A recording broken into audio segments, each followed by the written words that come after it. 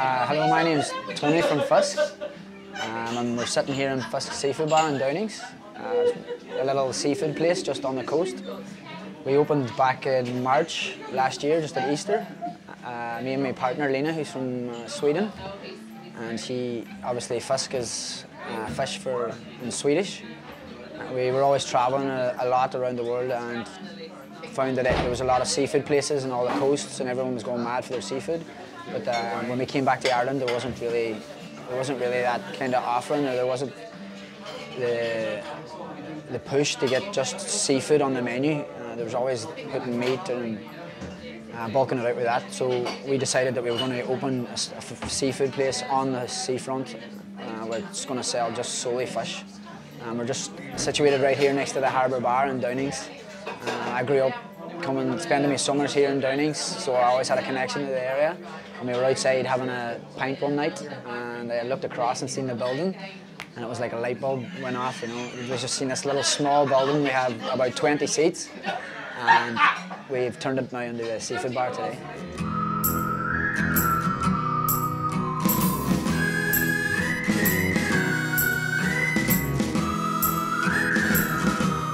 So most of our produce we try and source here in Donegal, uh, just on the pier, uh, a couple of hundred metres up the road. We get the local crab, which is McBride's crab. I, personally, I think it's probably the, it, it is the best crab in Europe, maybe the world. Maybe I'm overstating that. Uh, it comes straight off the pier here and straight into us.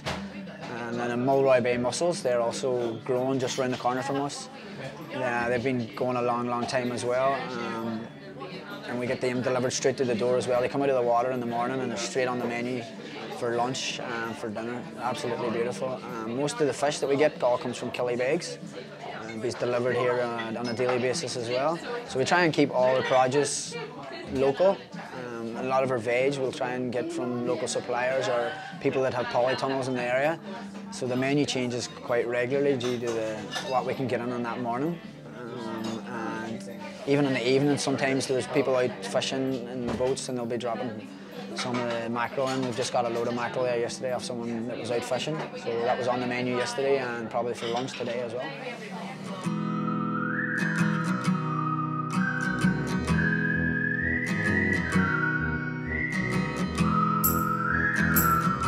We never really see, seen it grow. We thought it was going to be, you know, come up, do a little bit of cooking, do a lot of surfing, be all really nice, relaxed lifestyle. But actually, the whole thing kind of just took off after the first few months. We got a, a, review in one of the newspapers in Northern Ireland, and then after that, it's just a snowball. We got into the top 100 in the McKenna's Guide.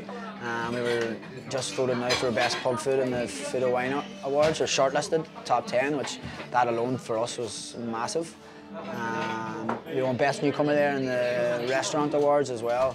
So, you know, we, we really didn't expect to have that kind of success at all. And uh, just the other week we were in uh, top, top 20 seafood places to eat in Ireland and Irish Independent, you know. So for us, we're kind of just a little bit shell-shocked, but um, long may it last, I suppose.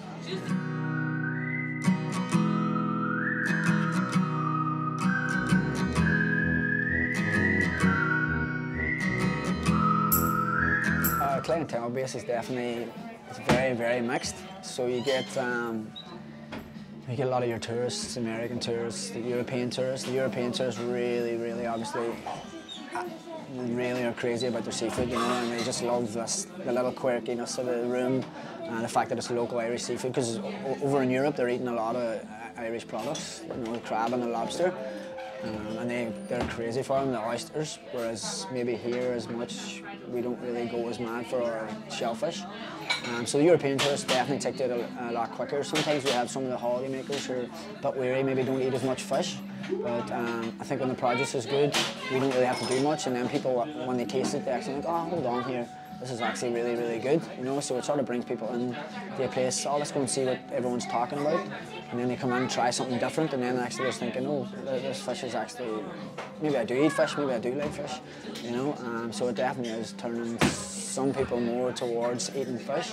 And then obviously you get your fish lovers who are just out to have seafood um, and looking for a little bit different. As I said, the room's quite small, quite quirky, we have an open kitchen, so you see everything that goes on. So we definitely get a wide, wide base of clientele. Um, and I love seeing some of the kids come in. Uh, the kids, for some reason, love the mussels. I don't know if it's the opening the mussels or the because they're so sweet, but or maybe it's because of the beer we cook them in. I, I, don't know, but the kids seem to love the mussels, and you know, it's great seeing kids eat shellfish and eat fish. You know, and, um, that's a really good part of the business when you're watching out of the kitchen, seeing the kids eat the fish.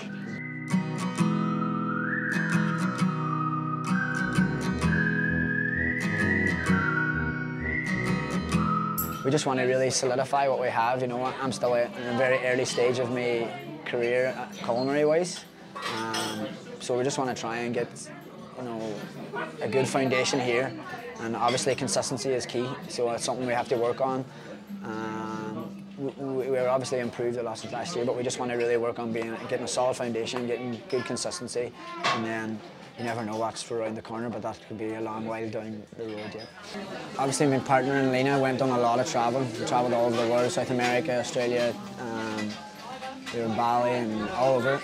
And the more we, places we travelled, we sort of found that we started to realise how lucky we are here to have Donegal on our doorstep.